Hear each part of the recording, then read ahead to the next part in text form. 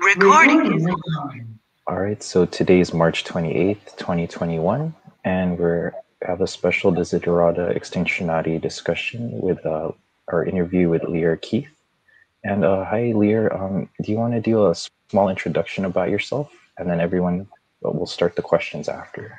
Sure. Um, I have been a radical feminist and an environmental activist for 40 years now. I'm 56, so I've been at this a long time. Um, I'm the author of a bunch of books, seven books. Um, probably the most famous one is The Vegetarian Myth. And uh, we just had a book come out last two weeks ago that I wrote with Derrick Jensen and Max Wilbert, and that's called Bright Green Lies. So we're super pumped about that. And this is my dog, Jamie. You're next to me. And my other dog is outside. So I live in Northern California in the Redwood Forest on the coast of California. So. Okay, so can I ask the first question? Uh, yeah, so yeah, ahead. I just um, I haven't read Bright uh, Green Lies yet, but I, I read Deep Green Resistance. Um, can you just, for the audience, just go through what Bright Green Lies is about, the normal spiel, which you're probably getting really sick of by now. But no, just not at all. Not at all. and then, um, and then immediately, my first question is must be the next question people ask you is um, is about Planet of the Humans, and did. Mm. You know, Jeff Gibbs and Michael Moore's thing, or the reaction to it, did it influence it in any way? Because I know you started long before that yeah. was released. Yeah. So the book is about what has happened to the environmental movement and how we are being led astray. Um, it, it was before, you know, from Rachel Carson onward, the environmental movement was about protecting the wild places and wild beings that we loved.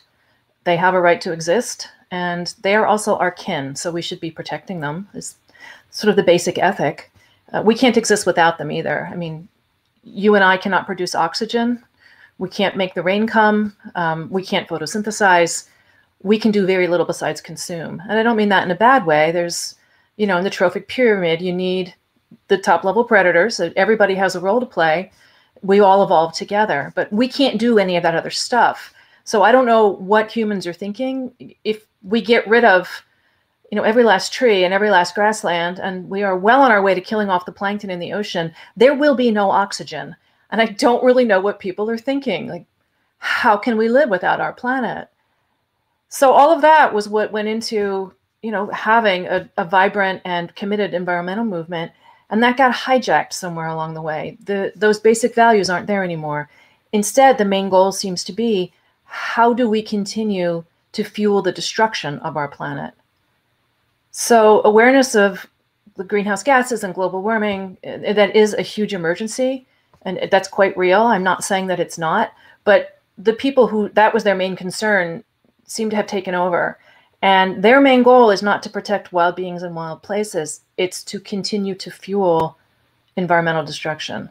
So, like right now, what's happening is you have entire biomes, so plants, animals, what everything is just fed into this giant machine and they're turned into dead commodities and then those commodities are transformed into private wealth.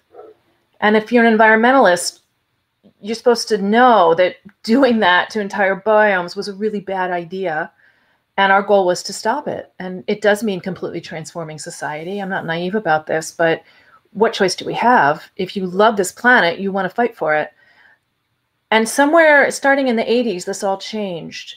So instead of trying to stop that process, they realized, okay, we're wrecking the climate by releasing all this carbon. That's bad, which it is. Um, but we need this way of life to continue. So we just need another way to fuel it. So they've come up with all these proposals that involve things like wind and solar and biomass and hydroelectric. And that's supposed to fix the problem. Well, it doesn't fix the problem because, first of all, it only continues the destruction. But second of all, I mean, we're really being lied to. None of those technologies scale up to actually fuel an industrial civilization. So it can't be done, which to me is a good thing, but they keep fighting as if this is possible and desirable. And then the third problem is that every one of those so called alternative um, energy sources are at least as destructive as burning fossil fuel. They are at least as destructive. Some of them are dramatically more destructive.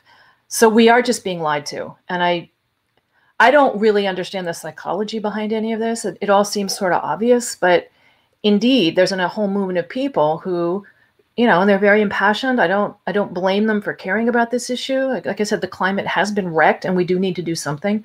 But their solutions are not addressing the actual problem, nor are they solutions that are even going to fix what they think is the problem. So that's why we wrote the book. Um, and so we go through all the different, you know, every single one of these quote alternative technologies. We explain what they are. We explain how they're made. We've got all kinds of facts and figures. You know, why it's not going to work, the destruction involved in doing things like wind or solar, biomass, completely horrifying. All of this is in the book. Um, a few of the other kind of bright green lines that we talk about, the green city, um, energy storage, because you can't do any of this without a whole bunch of batteries. And they're lying about that too. It really can't be done. Um, and then we talk about what we think the real solutions are, which starts with reclaiming our movement.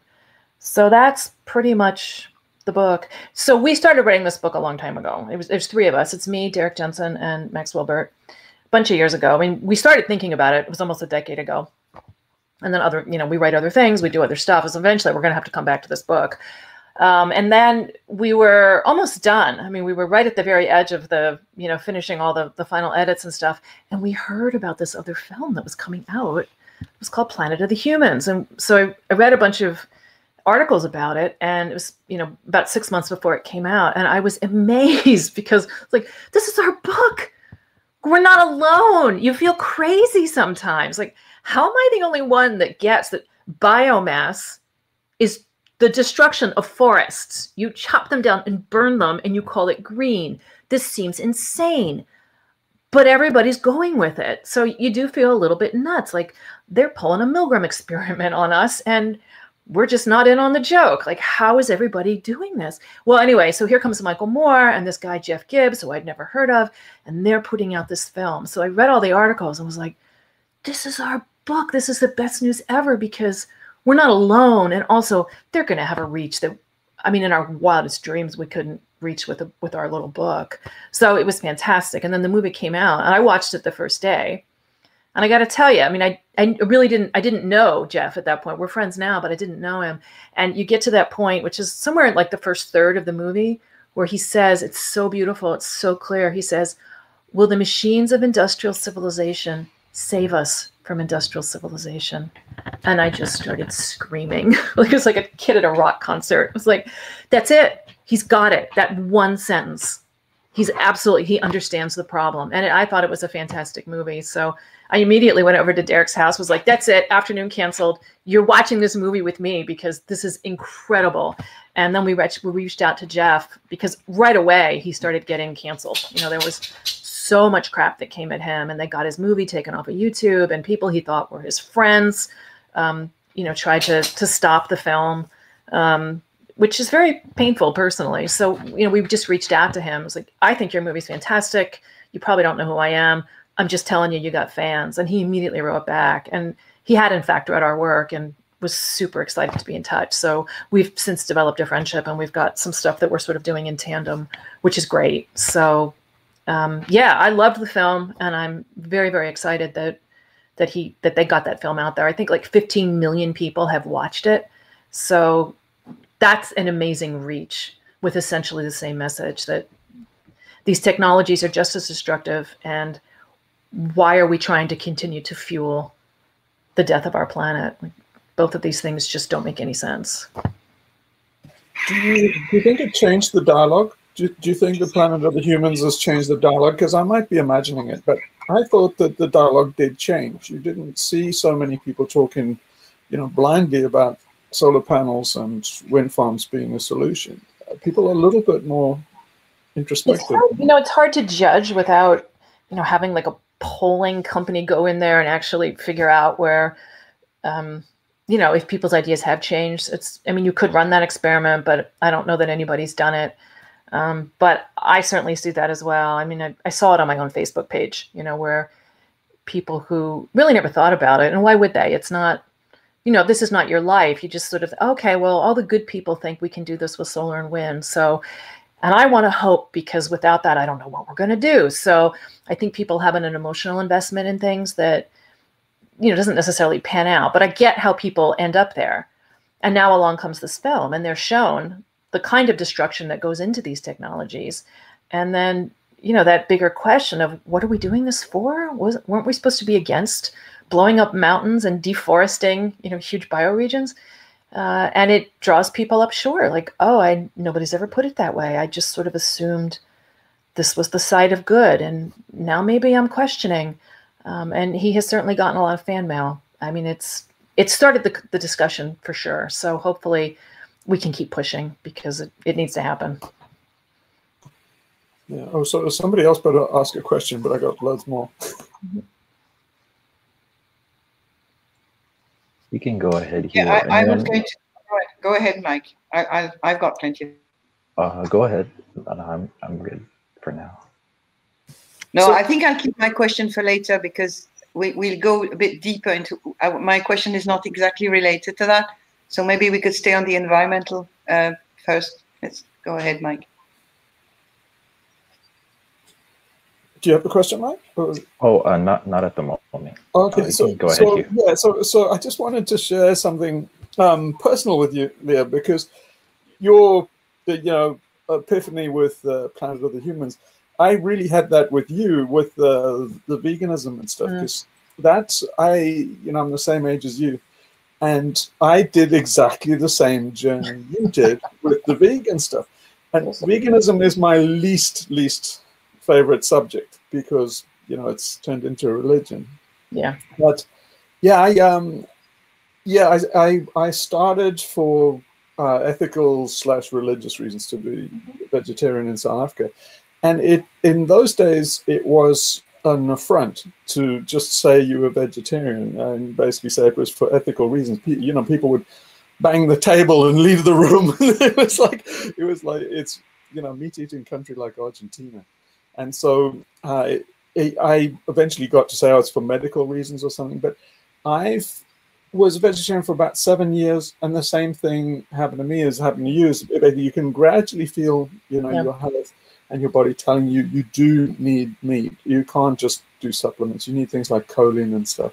Yeah. And so eventually, I did what you know, vegetarians who turn back to meat do. You go on a kind of a rum rumspringa, start eating all this, you know, meat and very Italian. It tastes so good and stuff. Um, but then everybody caught up and became vegetarian, and I told them you won't be able to do it for long. Nope. I have one uh, friend who I interviewed who's who's a well-known uh, anarchist and very militant vegetarian, and uh, he's in his 70s um, and he's not in good health. Mm-hmm. And he insists that he is, that there's no problem with vegetarian, but you can see he needs meat. There, there's a he's an author, and there's another famous author. I won't I won't mention his name, but an English author that anybody would know if I mentioned it. And they used to share an apartment together, and they were they're the exact same age.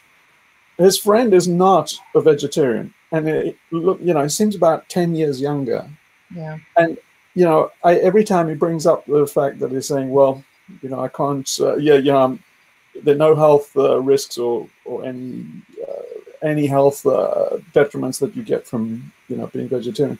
And it's just saying, look at yourself. you, you're not in great shape. You for your age. Um, yeah. And then you know people come in about they're about six. They've been you know vegetarian for about six months, and they start arguing with me, and I say, "Look, I've I've done this whole journey. You'll find out later." Yeah, I've already run the experiment. Yeah. I, I wondered if you heard uh, the stuff that really interested me about what you were saying about you know herbivores and how how they're supposed to live, and I also found all that out. Have, have you heard of? Um, I think it's Brian Savory of the Savory Alan, Alan Savory, yeah. Alan Savory, that's right, not Brian. Yeah. yeah, it's he's our yeah. hope. If yeah. anything is going to stop global warming, it's Alan Savory. And, yeah. well, so, uh, do you want to just uh, talk about Alan Savory and what? Yeah. What so Alan Savory, um, just really briefly, he's from Zimbabwe. He grew up, so that's where he grew up. It's, that's the place that he loves the most. Um, and he um, oh, I don't know how much of his story to get into. Anyway, he noticed over decades that the landscape where he where he was in southern Africa had, was just degrading, and that the more they applied the quote correct rules, the worse it got. And at that point, what everybody thought was, well, if if a brittle environment is degrading, it's because there's too many, too many animals, too many ruminants, and they're they're degrading it because they're it's they're on overshoot. And so the theory was, well, you have to get the animals off. So you know, horrible things were done to giant herds of animals because everybody thought that was the right thing to do. And there are still people who argue that that's the right thing to do. But every time they did it, the situation got worse. So he was um, horrified, um, in total despair. How am I going to save this land? And you can look around the globe and see the same problem everywhere. So this is this is huge. It's not just localized.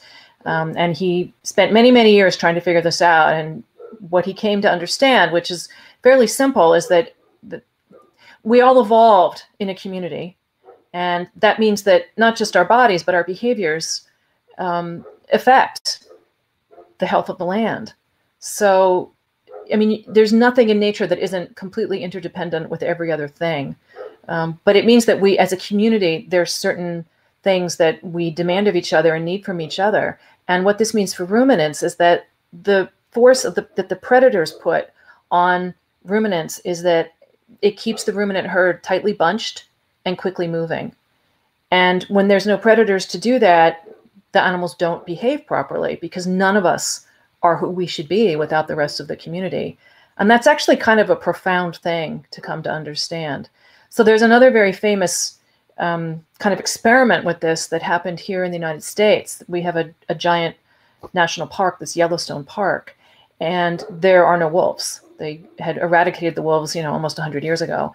And what this meant was that year after year, and in that case, it's not so much ruminants, but browsers. So you have deer and elk, um, and they there's nobody to correct their behavior. So they stand around on the riverbanks eating the juiciest, yummiest little shoots, which is saplings. So it's baby trees that need to replace the older trees. They ate it all. And then they ate all the new growth, all the shrubs and all the bushes and, and the trees. So all you have is old trees, nothing new, and no underbrush at all.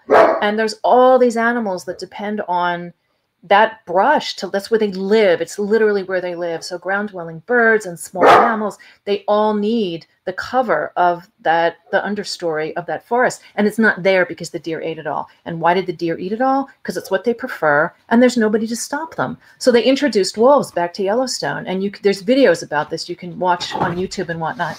Want to let my other dog out. Hang on one second. Go ahead. Go outside and bark. Go ahead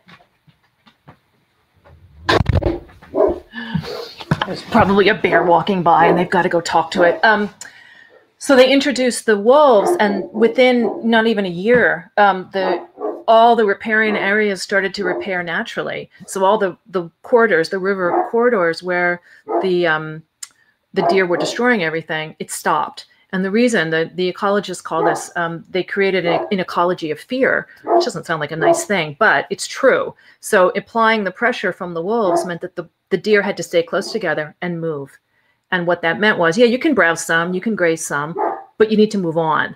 And in that process, it means that all of that understory can repair. And now, of course, there's all kinds of young saplings there, and there's the whole shrubby understory and all these birds came back and the, the rivers repaired which means there's fish again there's all the, the life of those rivers has come back and it's all because they introduced the wolves. So it's the same thing on a prairie. So you know alan Savory's thing is the grasslands because he's from southern africa and that's mostly what there is there. Um, and this is true in the united states as well. We have a huge chunk of the continent here in north america that should be a grassland and it's not. It was taken by the agriculturalists, by the farmers, starting in about 1850, uh, and just mile upon mile has been utterly devastated. Um, and what is there now instead of this, this, this dense life of prairie? What you have instead is just, I mean, I've driven across this country and it's astounding. It's mile after mile of one plant. So it's wheat or corn or soy, and that's it and you just drive through it and it's all you see for days. and what used to be there, um, 30 to 40 million pronghorn antelope, uh, 10 million elk, 10 million mule deer, um, somewhere in the neighborhood of 2 million uh, mountain sheep, and of course 60 million bison. And the estimates are there were probably 5 billion prairie dogs. It's all gone. It's just gone. It's all been removed. And the topsoil was 12 feet deep in places when the Europeans first got there, and it can now only be measured in inches. So all of that abundance and all of that soil was turned into humans. It's us. So we did this. Um, and those, I mean, they just have nowhere to go. So they're, you know, on the verge of extinction. There's only 1,200 real bison left in the entire country. And there's, uh, there's a, a, group of them that live at, near Yellowstone. Um, and that's it. So this is the thing. You have to understand how a grassland works as a community. There's three the keystone species that make the whole thing happen. So you have grasses, you have the ruminant, which were the bison, and then you have the bacteria. So grasses are cellulose, and the 98% of all plants are, are made of cellulose. There's a couple other things they make too, like seeds, but mostly it's cellulose. That's what their bodies are made out of. And humans can't digest that. There's a lot of animals that have no mechanism to digest cellulose. The creatures that can digest it are bacteria. So whether the plant like right now there wouldn't be any bison to graze it so you might have some native grasses here and there but there's no way to digest that cellulose so what happens is you're left with mechanical weathering so rain you know just anything will eventually break it down but there's no one to actually do that work quickly so what happens is that the grasses will pile up around the the root node of the plant like where it comes out of the ground will be covered and that kills it so in these areas where you still have some perennial grasses but no ruminants it's just ever increasing desert because the bare spaces between the plants just grows and grows and grows, and eventually it's just going to keep decaying until there's there's no life left. Um, what ruminants do is there's there's those two things. One is that um, grasses evolved to grow from the basal point, so the where it comes out of the ground, that's where the growth is. That's very different than other plants. So right now I'm looking outside. I'm in the redwood forest and the tips of every branch is a brighter green. And that's the new growth for the year. And that's how most plants grow. They grow from the ends out. Grasses are totally different. They grow from the bottom up. And the action of a, a ruminant, like a bison, eating the grass um, doesn't kill it, first of all. If the growth plant was at point was at the top, that would kill the plant. They wouldn't be able to grow. But it's not. It's down here at the bottom. So that action of biting it off um, it doesn't kill it, and in fact, it stimulates it um, to the point where there's actually compounds in a ruminant saliva that help grasses regenerate. So you can see they evolve together. Um, without the ruminants doing that with the grasses, we wouldn't have prairies. And the reason that we have grasslands and not forests is because there's not enough rain. So anywhere where there's enough water, you're going to have trees. But there are huge swaths of the planet. I mean, way bigger than forests, or, or the, the the, the amount of acreage that is grasslands is just dramatically larger. And it's because there's there's not enough rainfall. So the other thing that grasses do really well is they survive these hot, dry summers. And they do that because they have a really extensive root system under the ground. So what we see on the surface of the ground is not really where the action is. It's beneath the surface and it's just teeming with bacteria and with life. And so the, the roots of the perennial plants are very, very deep. And that's because perennial grasses live a long time. Like trees, they live many, many, many years. So an annual plant is one that only lives a few seasons, so one year. But anything that's a perennial lives many years. That's what perennial means. And because they have all that time, they can make these really extensive root systems. And those root systems do a few things that are absolutely crucial to life. And one is the the deepness of the roots. They can penetrate way down, and that makes a channel. It's a physical way that rain can enter the soil. Without those roots, the rain can't get in. And if you drive by a field that is an agricultural field or even a garden, you'll see that, that when it rains, the water just pools on the surface. It doesn't go anywhere. But if you walk through a grassy area, you won't have big puddles. And that's because the water can actually be absorbed. And this is important because there's months on end where there's no rain. So all the moisture is underneath the ground and it's the grasses that keep it there, that bring it in and then keep it there. And then over the course of the summer, when there's no water for the rest of life, the grasses are slowly using it. It's like this giant sponge, and they slowly use it as they need it. And then all the other animals that live above the ground have something to eat that has some moisture in it. So a lot of those animals don't really have a, an impulse for thirst, like they don't drink very much water because there isn't any where they live, but they can get enough out of grasses and whatever else is growing there that they don't need to drink, and that keeps them alive. Um, and the other thing that perennial roots do, because they're so deep, they can actually break up rock. So they go down to the bedrock beneath the soil, and there's action between the roots of the plants and the, the, actual bacteria that create the acids that will erode rock. But what it means is they get minerals and they bring them back up into their bodies. And that's what makes minerals available to like every other living creature, essentially. We cannot eat rock.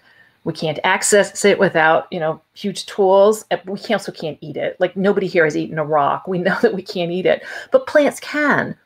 And that's how they replenish the minerals.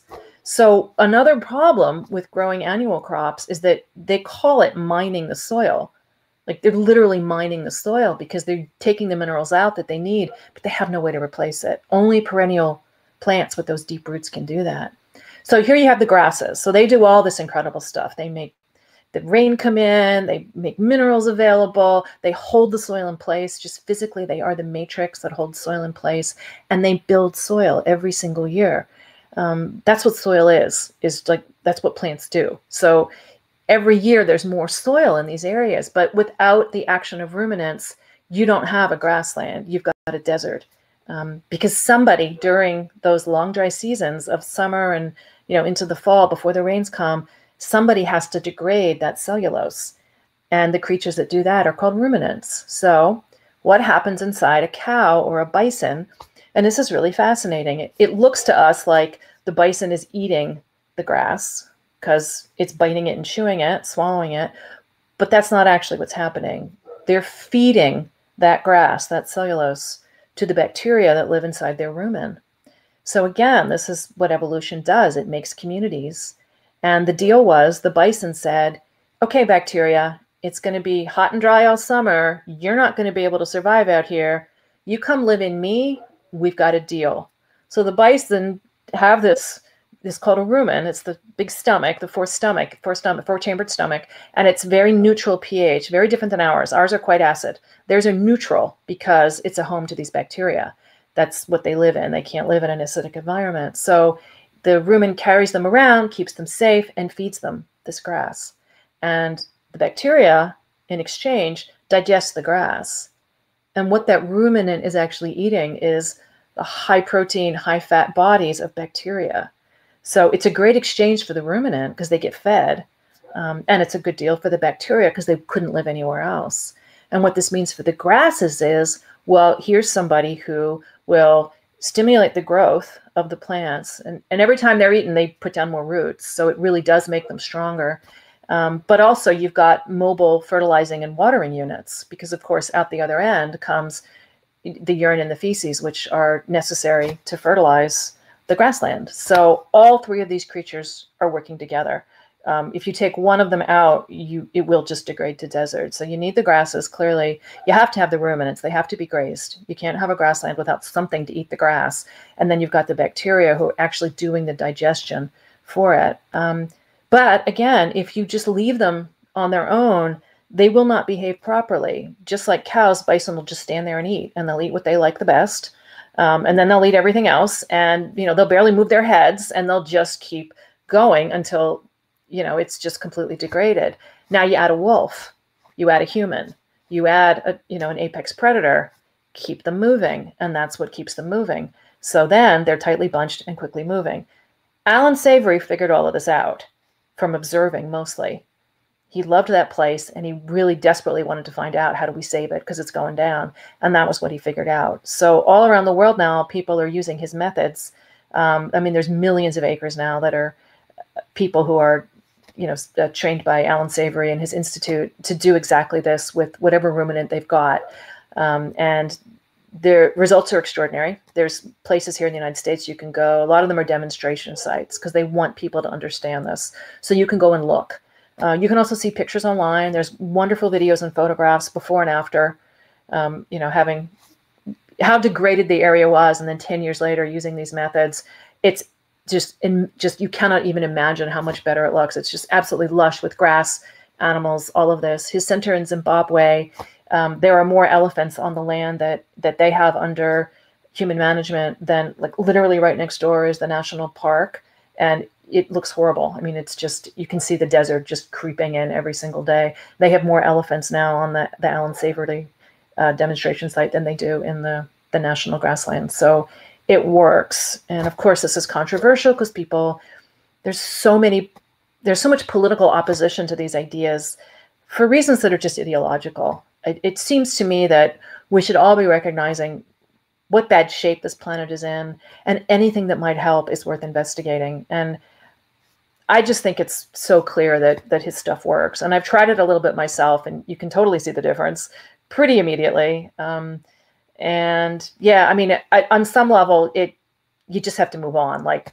this stuff works. How do we get more people to do it? So um, in, in the United States, there's a, the Grassland Farmers Association, and they do, there's all kinds of organizations that go to the Midwest and, and help train farmers who are in a lot of despair. I mean, if you are trying to grow something like wheat or corn or soy, you're utterly dependent on the United States government, on the Farm Bill every year.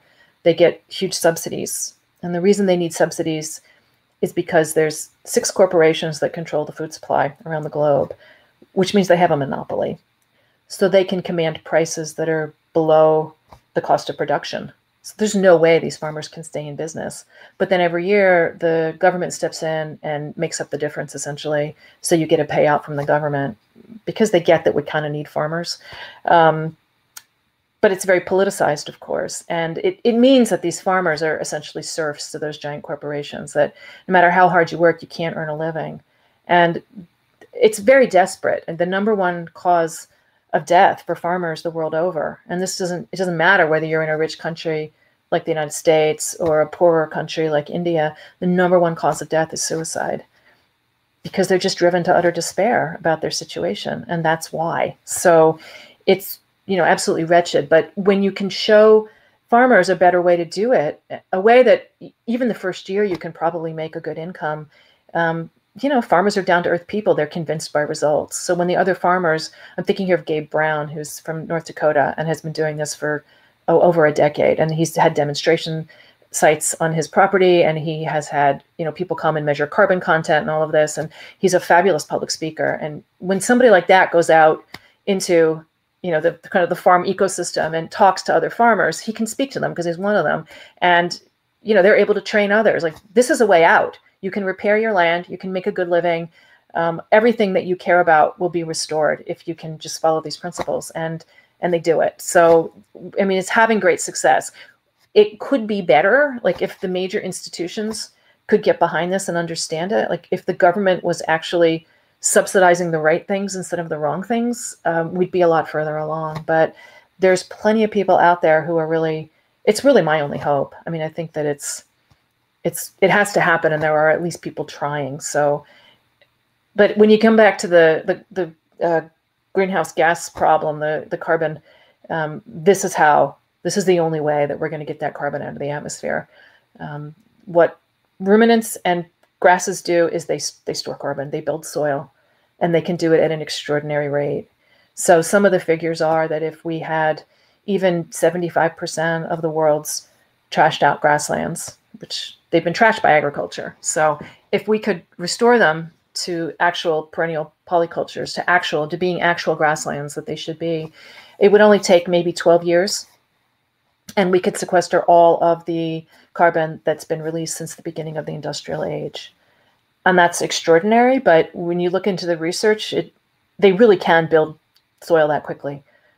Um, we don't need Elon Musk and some bizarre technology that might, in fact, destroy everything to come along and, you know, put aerosols up into the atmosphere and send the sunlight back and like these giant machines that are somehow going to suck the carbon out. And then where are you going to put it? And they don't really know. We're going to store it underground somehow. What if it really what, what if it cracks and it gets released again? Like these are like insane science fiction ideas. Like, there are people who think oh we could we could propel the earth a few more feet away from the sun and that'll solve the problem like are you insane you actually want to strap rockets to the earth and try to move us a foot away from the sun. What could possibly go wrong? Um, all we have to do is let the grasses and the ruminants come home, and they will fix this. So, so you led right into something which I wanted to ask you, and I don't want to really destroy your hope, but I, I wanted to ask you about this. The um, uh, by the way, uh, I got some bad news for you on another score because uh, the three of you, Max, I reckon you've got to get on to write the next book straight away, and that's against okay. geoengineering because it's it's starting. It's There's terrible. so many indications that these guys are gearing up um, and one of the things that concerns me most is uh, in uh, in Canada, there's this thing called the Pacific Carbon Feedback uh, Group, um, and they just uh, they quite advanced into experimentation, and they had um, a video up where they're discussing uh, all these things, basically discussing in earnest. Now we're going to start scaling these things up with with the backing of the Canadian government. So, so you can see them getting into high gear. But what I found was amazing is in all their papers and research, they they refer to it as targeted geoengineering. And in this video, while they're discussing it, they're saying, well, you know, we have to call it land management or eco restoration or climate mitigation. And they're discussing all the code words to use other than geoengineering because it's popular. Yeah. But one of the things that really concerned me about what this PCF uh, group was talking about was they had, I mean, we're talking a very broad group. There are hundreds of scientists in, involved. It's a, it's a big initiative. And one of the guys came and um, well, I, actually, he gave a presentation on the the Pleistocene, Pleistocene Park. You know, the Pleistocene yeah. Park in South yeah. And so, so he dismissed it, and he uh, basically they were all giving these presentations, really building the argument for we got to start geoengineering, guys, oh. doing all these crazy things, and the, he shot down Pleistocene Park, saying that what the, the data showed them is that the doubling period is about seven years for the, the herd. Mm -hmm. So they're saying the herd cannot mitigate climate change, even though it's exponential growth. It would take like 40 years or something. And so it it's although it does work on paper, it's just too long compared to how fast uh, the concentration of carbon is going up. So they dismissed the whole thing, the Alan Savory thing, and I don't, they didn't mention Alan Savory, but they mentioned Pleistocene Park, which is the same thing, and also the buffalo on the prairie. But uh, they have concluded that, you know, we, we're in, in geoengineering territory, and they're doing it without public consent. They're going ahead knowing that the, the public will never agree to it. So, and we're, we're talking about much worse than solar radiation management and, and and Scopex and things like that. One of the the thing, one of the reasons they're doing this is because uh, they, the IPCC made a mistake in all their models for the Arctic and the tundra melt. They assumed as the melt happens, then uh, you get plant growth coming up uh, mm-hmm. as the permafrost melts. Right. What they've discovered recently is the permafrost it gets replaced by permacast, which is basically concrete and has way lower albedo. Right. So it's it's in a runaway feedback loop. And yeah. This carbon feedback loop is they terrified. They're so yeah. terrified they're not even talking to the public about no, it. They're just yeah. going ahead with geoengineering. Yeah. Oh, so, uh, hang on. Sorry, I got. Okay.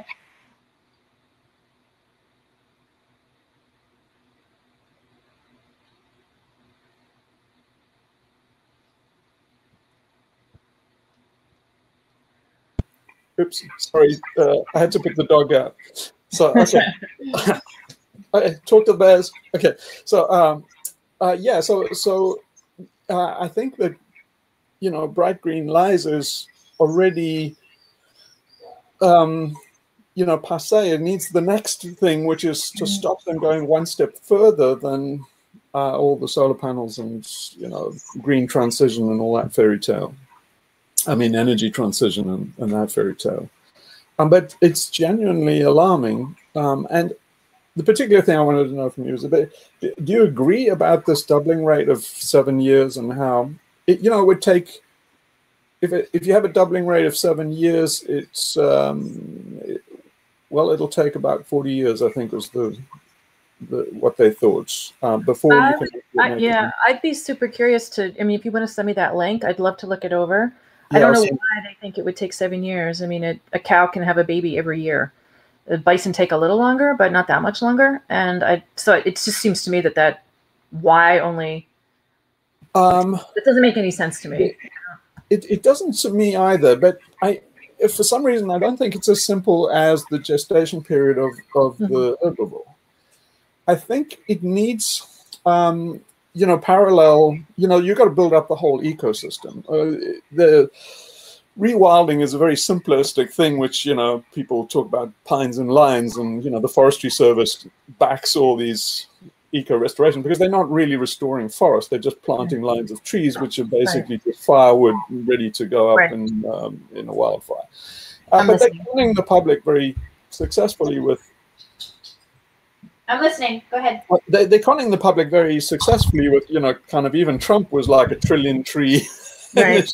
and, stuff. and it's like, yeah, sure, because basically the Forestry Service in America is a branch of the agricultural yes, department. Right. like the forests are considered to be like maize you know they're not it's an agricultural product and uh, you know they're thinking in terms of well we can build houses this is awesome yeah.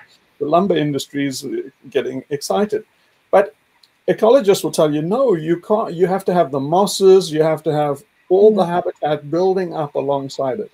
So I, I, I wonder. I think it works in prairie land like Alan Savory, if you in in the veldt in in southern Africa. Uh, but there's there's not such a complex ecosystem of in, in that uh, in southern Africa. I think it's more complex on the tundra. So they can't build it up so fast. You can't just, um, you know, they they eat lichen and stuff. Uh, they have to, um, they have to migrate, and I don't think it is the same as Alan Savory. I think Alan Savory just packs, you know, uh, right. packs cattle in.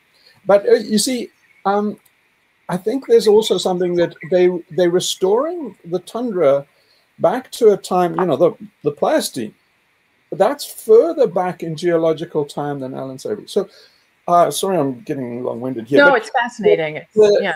I, I, lived through this story with Alan Savory because uh, I grew up in, in South Africa. And so uh, what happened in South Africa is uh, Europeans arrived. They, you know, enclosed all the land, put up fences, had game farms. It wasn't, uh, they didn't have such a requirement for farming, but they, they fenced off all the game farms because then they they had their own private game, and that was that was all very nice. But the land started to degrade, and they shot all of it naturally. Uh, the land started to degrade, and by the 80s, they realized they made a mistake because the, the the game couldn't migrate. So they started programs with the first thing down the path towards what Alan Savory was doing was they took away all the fences. Right. And let the, the herds migrate across the land. They, that was a big mind step for them because they mm-hmm. thought of the uh, as their personal game. They're capitalists. Yeah. And so to let their personal property wander around everybody yeah. else's farm was a huge revolution yeah. for the for the mindset. So that was the first thing. Then uh, the next stage was, you know, um, Alan Savory's one where you need to really pack uh, animals onto a game. I, I, went to one game farm about uh, 2014 actually, and I was standing in, in one place looking over this valley, and it I uh, it was very sparse, you know, just a few trees, you know, um, uh, camel thorn and stuff, and one or two antelope around the place. And uh, they had a photograph of at the turn of the century in like 1902 and that same valley was mm. covered like a sea in impala and the guys that took the photograph said that that that when they arrived there, they, they had they were actually trekking and they had to stop and make camp to wait for all these antelope to pass. It took right. three days. Yep. And now they're like, you know, There's look nothing. with the binoculars, you can find three antelope. So they started to realize that, you know, you've got to pack pack them in like that because, you know, half of the ecosystem is like you say, it's in the herbivore's stomach. So yeah. it's it's you know, it's half half the the ecosystem. And so, um, but yeah, I just say one more thing, and then I'll let you talk. But the the the thing that frustrates me, even about Alan Savory, is is they came all the way full circle from like finding these virgin, you know, uh, landscapes, enclosing, you know, hunting them to exhaustion, enclosing them, then finding out the value of migration, finding out the value of restoring all the, the herbivores. But Alan Savory is still with cattle. There's just one step to go, and you say, instead of cattle, put the impala back. And then and then I think you get to why people are have a lot of psychological resistance. Because what it's saying is humans' place in all of this is not what we want it to be. It's exactly as you say. We really are hunter gatherers. We're supposed to drive the herds along, and people want to have farms, they want to have settlements. And so, you know, even Alan Savory can't make the final step saying, like, guys, we screwed it up.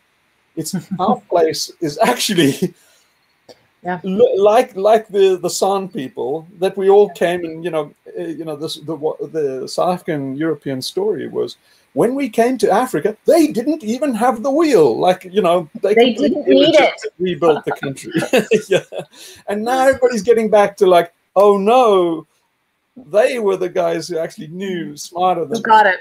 Yeah. yeah. and and and people can't accept that. To you know there's so much deep-seated prejudice against uh, some people like the San San people. But what do you think about all that?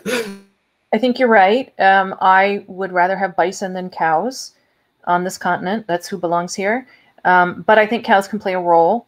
And what i also think is that we are in an absolute emergency so if it means we have to do cows for a few generations just to get this going i'm fine with that and in 50 years or 100 years we can talk about more bison and fewer cows. But right now, we just need the ruminants and we need the grasses because we need that soil because we've got to get the carbon out of the air. And if that's what it takes to kick it off, I'm all for it. So, however it happens, let's just get it moving. And it's true. There will be people after Alan Savory who get that sort of final piece. I mean, you've described it so beautifully. That's exactly it. And I consider myself one of those people too, but it's fine. Like we can do it with cows right now. We can have that fight later when the planet is not under uh, as much assault as it, as it is right now. So it's let's deal with the primary emergency, but let's keep pushing this idea too, because we do have to understand that this way of life cannot continue, and even the best cows in the world aren't aren't going to save this if uh, we don't understand that civilization was a mistake. Yeah, even Jared Diamond says agriculture was yeah. one of humans' biggest mistakes. Oh, it is. Yep, it absolutely was. And that's just was so groundbreaking to me to read that. Just that one sentence. I was like, yes, somebody got it. Oh my goodness, that's what I need to hear. And it, it's just it's burned into your brain because it's like the moment that the pattern falls into place. Like yeah, just, we, are stuck. We're stuck yeah. now. We're stuck, we're stuck now, but we don't have to be. We don't have to remain here. But so some yeah. of us have to provide that longer range vision, you know, of, of uh, well, really I, where I, we're headed because it's not here. It's really one more. We got to go one more. But yeah, I, I still think we but I, I, mean, in line with um, you know bright green lies is, is, there's also ecological lies, and one of the I think um, the in the eco restoration crowd and the ecologists they've also made the mistake of um, of you know like Planet of the Humans they were saying that you know so many of these NGOs and Gibbons and guys like that they've, they've sold out and made the devil's bargain saying look we we we have these psych, you know, psychopathic capitalists. The only thing they value is money. So what we can do is we can say that all the wilderness and uh, you know the Serengeti has economic value. Then they will value it. And I'm saying you, you're making the biggest mistake of your life because because you know it's it, it, exactly now. I've I've been saying for a long time. If you do that, markets collapse and they collapse to zero. And so all capitalist markets collapse. I mean, capitalist, you look, capitalism eats up everything it touches. So you don't want to make an economic resource and get its uh, economic value as it's worth. The Serengeti is is not uh, accountable in that way. You can't do that kind of market accounting. And what happened now with COVID is now the tourists aren't there. So as a resource, they've just all the ecologists now are crying on Mongabay and bawling their eyes out, saying COVID has been an you know ecological disaster. Why? Because these conservation projects have gone downhill. They've got they're not funded because there are no tourists. And saying, well, that's what happens if you get involved with capitalism. Is you at some stage you turn the Serengeti into a market value of zero, and then it only has its resource value, which is bushmeat. So what's been happening now with COVID is they've turned the Serengeti into bushmeat. So they are the kind of Gibbons guys that have mm-hmm. made this devil's bargain, and it's the hugest mistake known to man. If, if you know, I think we, we need to raise the message on that. No, you're absolutely right. I remember even in the 80s when all of these projects, you know, people were talking about, oh, we're going to have ecotourism in Costa Rica. We're going to have ecotourism in here. And I was like, my hair, it's like my hair was on fire. Like, how does this happen? Like, it's not valuable because it's worth money to somebody. It's valuable because it's alive and it's part of the, the earth. And so are we. And like, you're supposed to care about these creatures because because you just do because they're your kin. How can you not love a kestrel? How can you not love a wolf? I don't understand. And it's just completely the wrong direction to try to just keep monetizing it. So and here you are you say it's, it's exactly it. Then when the economy collapses it's worth zero. Because its real value was never the thing that people understood. Oh it's so but, frustrating what you're saying also relates to veganism and vegetarianism with capitalism because those two those two industries now you can call them industries because when you look at what's happening in the I, I, live in a very wild place so i don't i don't see the big world and the big cities but what i hear from the internet and the people i know who live in cities and and and as you were saying hugh when XR were organizing their their demonstrations, they were organizing vegan meals. You know, I mean, yeah. all this now, all this is an industry that is highly polluted. It's based on soya and cereals, which is we know what that is doing. I mean, nobody is bringing up the fact. Well, you are in your book a bit, and Leo is bringing up that that uh, the, these these movements are completely uh, part of capitalism. I mean, beside the beside the scientific uh, evidence of the biome and the, the, the, need for humans to be omnivorous as we know we are, um, it is a market. And it's, it's uh, really uh, depressing to, to, for me to see young people who think that they are really doing something right and we're going to save the planet and, and they're part of that religion um, of, of veganism and vegetarianism. And this, this is and thank you very much for your book because that was a very that was very good and very courageous. well, I paid the price, but yeah, it was worth it. Have you uh, seen Cory Morningstar and the you know the you know her and the yeah yeah yeah absolutely man manufacturing yep. for consent and um, what was the wrong kind of green? Wrong kind yeah. of green, yeah. Yeah, yeah. So so uh, um, uh, that's a group of people, isn't it? It's not. Yeah, there's like four or five of them in her little in her little collection, and they do a great job just breaking down the, you know, how all this gets hooked up to funding. You know, how they need money, and that you know you go down this path where you you think you're forming an organization that is going to do something good, but the moment you're dependent then on the funders, what can happen? You know, and where they end up just selling their souls. Um, even though they thought they were trying to do something good. And it's hard because I know people need to earn a living. Like I, I don't have a lot of great. I, I don't you know people like I get how that happens to people and it like we all need friends to pull us back. I mean that's like really the only thing is like surround yourself with people who will be brutally honest. Like that's a step too far. It's your group is no longer going to be about what you want it to be about if you sell out in that direction. Um, because that's what's happened to all the major environmental groups. I mean, we call it like big green because they were supposed to be about protecting the mountains and the rivers and the prairies and the creatures. And they've ended up just signing up for every form of destruction so that they can get advertising and funding. And it it's very depressing because I'm sure those some of those people still believe they're doing the right thing. But it just shows like where the human where the human mind can go and how we can talk ourselves into stuff well, this brings me to think about what you wrote in your in the, the, the part of the book that you wrote in uh, Deep Green Resistance about activism, mm-hmm. and you give a lot of very useful um, advice and tips and all sorts of ex- and I can see from experience. um, we we we discussed this in our group quite a lot, and uh, we have we have. Hmm, I think you would be better to discuss that than me because um, first his English is better than mine. but um, No, but uh, you know, I mean, I wanted to introduce the idea of the ARG in activism and see what Lierre thinks of it. What do you think, Hugh? Oh, sure, sure. Oh, but, but I mean, first, the subject is, um, yeah, they're talking about truths and stuff. What about you know breaking stuff? I I agree with you we've come to the time where we have to admit that these people are not going to stop, and I I feel like you know there's too much discussion in in the green circles about ethics and stuff, and you say, well, that's all privilege. I mean, nobody nobody has these ethical discussions. You know, when Hitler's marching into Poland, it's it's just uh, the fact that everybody's putting all these things like you know um, NVDA and and making you know rule number one for Extinction Rebellion is you know we're a non-violent organization. Well, you just said to everybody you're an ineffective organization that can be ignored. And so I think uh, we're at the stage where we should, you know, get over ourselves and start uh, thinking more full spectrum. Um, how, how do you approach the subject? Well, I mean, I helped write a book about it, so I, I've done my best to broach the subject.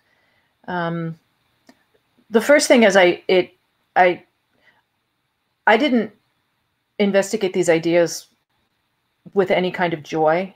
I mean, this is it's rather grim, you know, when you have to start thinking about taking more serious action that could result in real harm to living beings that should never be undertaken lightly. That even to start imagining it, you you have to be really careful. You know, like because we've seen human history. Like we know it's a pile of bodies and what people will do in the service of ideology. I mean, there's no question that we can just come unhinged in the service of whatever we think the greater good is. And it, it's so I, I understand why people try to put absolutes in place to say, look, whatever we do, as long as we're not hurting any humans, it's probably okay. but we cross that line into violence, it, we can't do it because we'll lose it all. And I understand that because it does happen and it's happened over and over again to people who really did think they were doing the right thing. So I didn't undertake this with any joy at all. But having said that, I remember one of the first times I ever heard Derrick speak, and this was before we were friends. And he said, Look, my morality is about what is effective.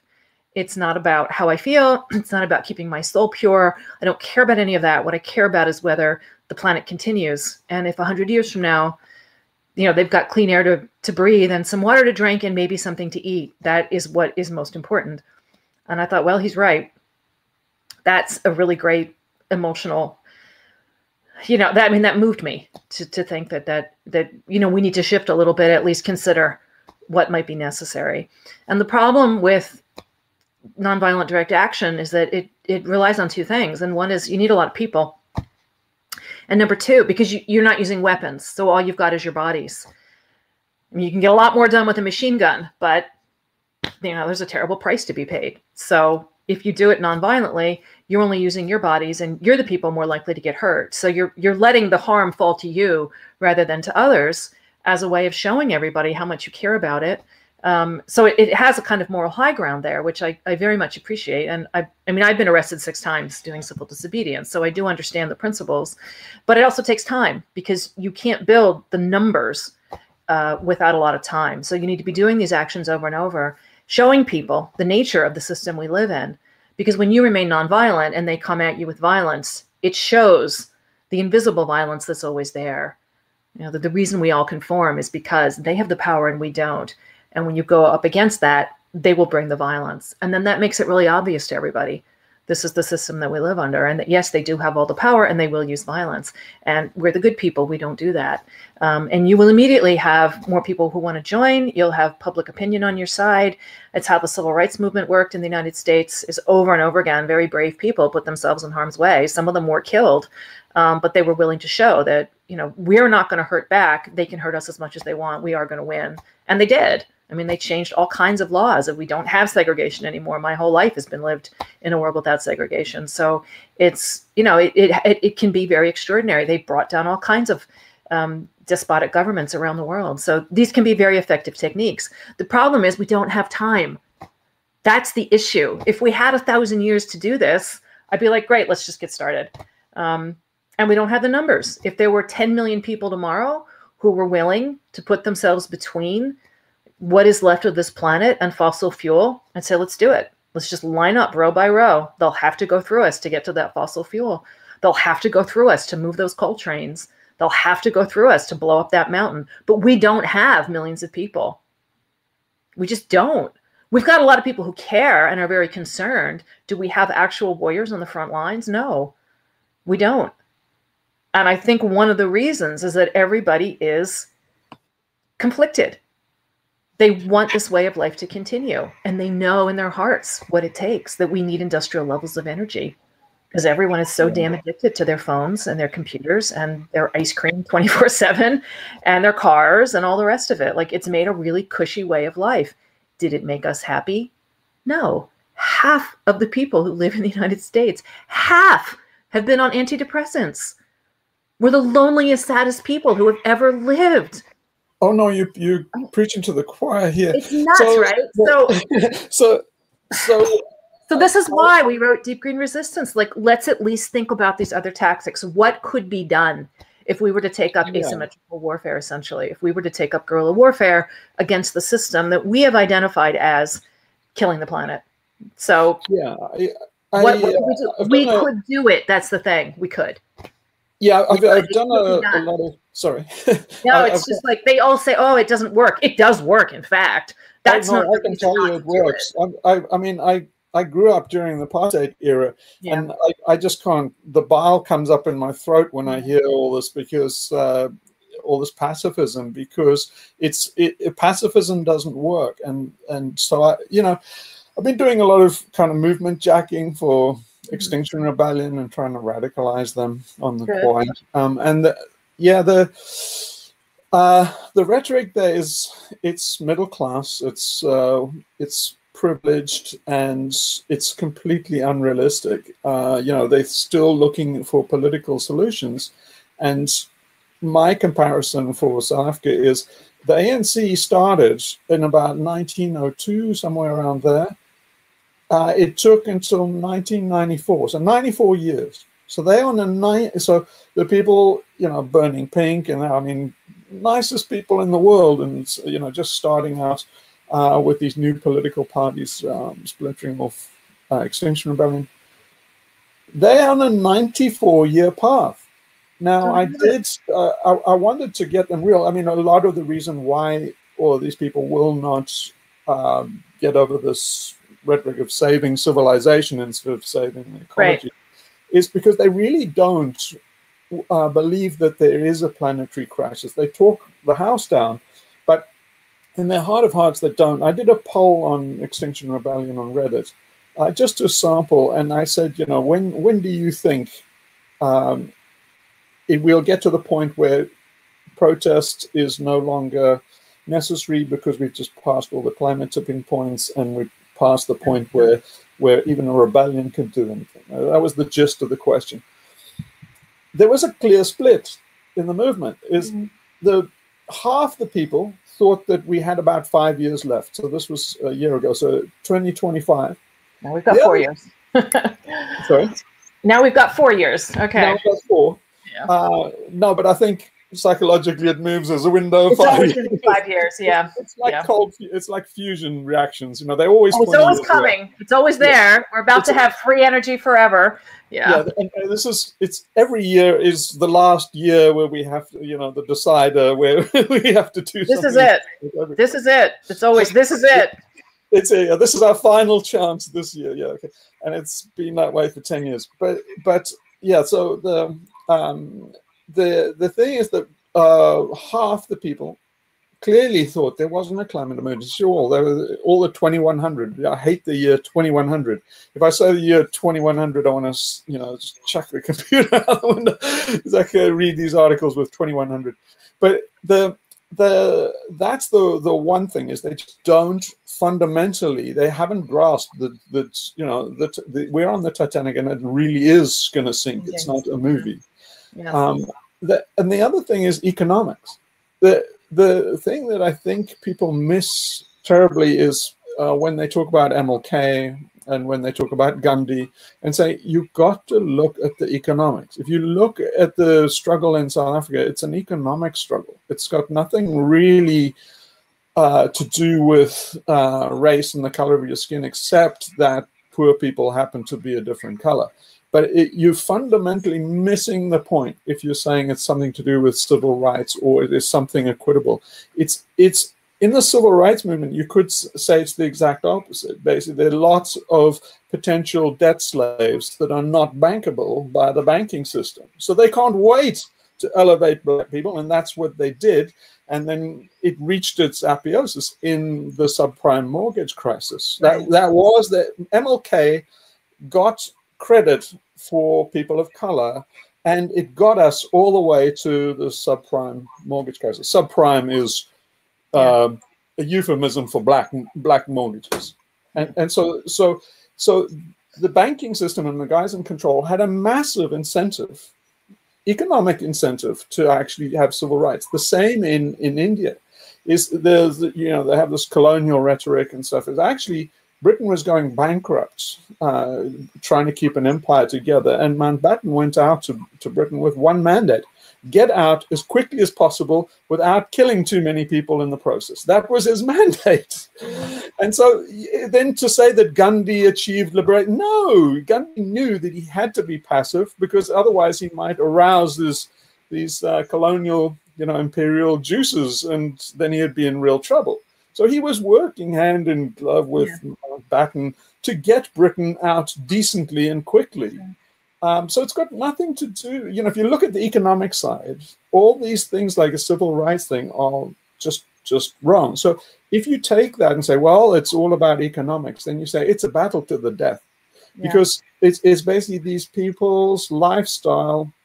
I'm talking about the 1%, is the aristocrats, they would rather die than stop being plutocrats.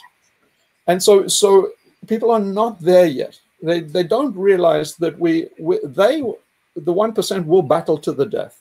So we're in an all-out war. And if you say, once you get to that point and say, okay, this is an all-out war, then you say, well, okay, then you pick up Sun Tzu and the art of war. Yeah. And Sun Tzu never says, don't be violent. It's, it's all about you try and do you know wu wei and not uh, everything is practical you, it winds up that you don't be violent because the the cheapest way of winning the war is with the least expenditure and, and that turns out to be non-violent but that's not a principle in that you strive for in um, in Sun Tzu's Art of War. It's, it's Sun Tzu is saying like it's this is how you win.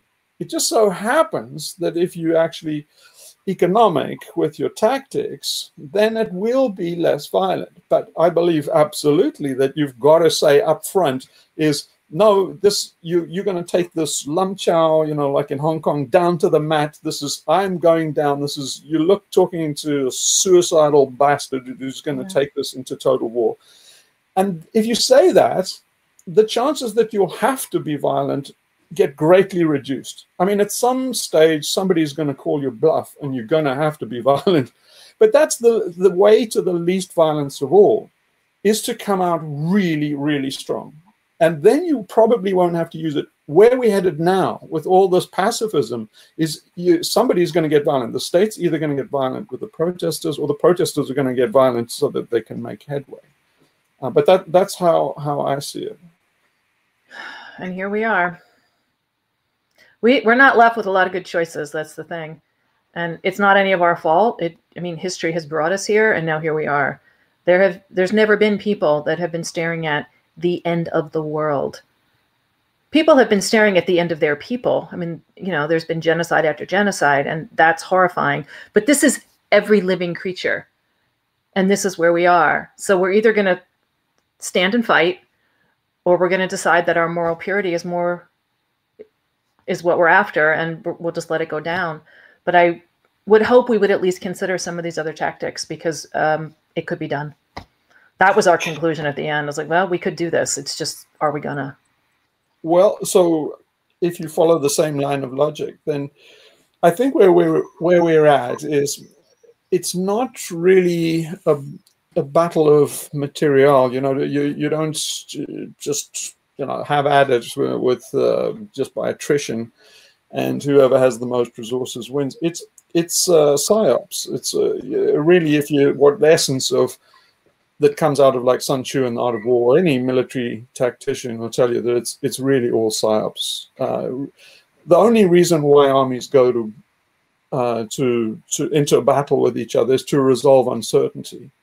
But if there's no uncertainty, then nobody would enter a battle. If, if it's clear which side is going to win, you have to do asymmetric warfare or something like that. You can't go head to head with somebody when you know that you, you know, that's Goliath, you're David, uh, you know. So, so, uh, yeah, so, so it's not necessary to, to wage a war, but it is necessary to wage a psychological war and maybe in a asymmetric war uh, at this stage.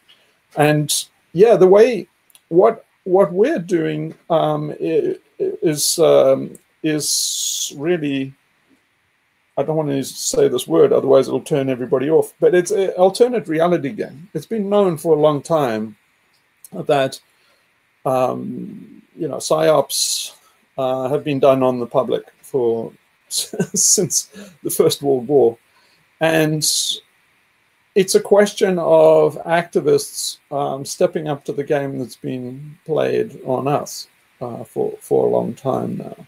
And the way to do that is with an alternate reality game with LARPing, and uh, I don't know if you're familiar with all these terms. Oh yeah, yeah, I know about LARPing. okay, um, but it, it, was. I mean, I've I I can came to this conclusion in about 2012, and I've been working uh, towards that. And I was extremely jealous in in in January because um, the I won't say their name because it's a keyword that might get me busted on YouTube, but the the QN the uh, the you know you know the guys with the orange torrent? Yeah yeah they, yeah. they just pulled they just pulled off. A successful yeah. Uh, and so I think we, we should start um, doing that. Well, it's 1016 here and I need I have another one at 1030, so I'm gonna have to go. All right. Yeah. Thank you for joining us. It's been a lot of fun. Yeah. Thanks for reaching out.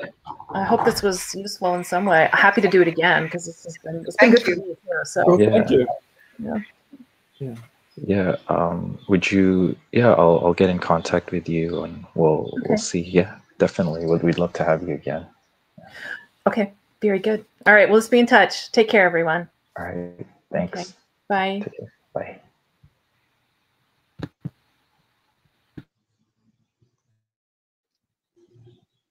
All right. Okay. Okay. So I'll end the recording here, and then I, I think we'll start back again at 10:30. Have you enough? Have you enough space on your Dropbox, Mike?